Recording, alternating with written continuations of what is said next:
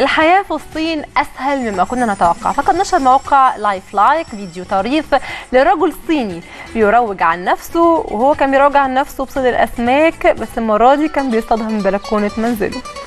يعني الراجل ده ظهر في الفيديو زي ما إحنا شايفين وهو واقف في البلكونة بتاعة بيته واللي بتبص على بحيرة مية ماسك سنارة في إيده وبيحاول إن هو يسحب الخيط بحذر جدا بعد ما اتأكد إن في سمكة أكلت الطعم ووقعت في الشبكة.